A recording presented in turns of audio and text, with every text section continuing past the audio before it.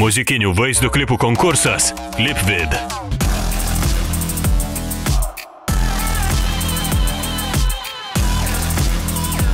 Šešios nominacijos.